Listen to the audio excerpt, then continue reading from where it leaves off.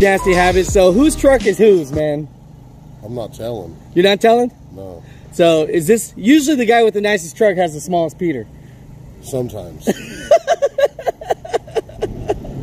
Which one of these guys do you think has the smaller Peter? Is it this man here or this man here? That's a hard choice. One's got more money though. Oh, really? Oh, yeah. The one that has more money is probably this guy. Zoom in. White pickup.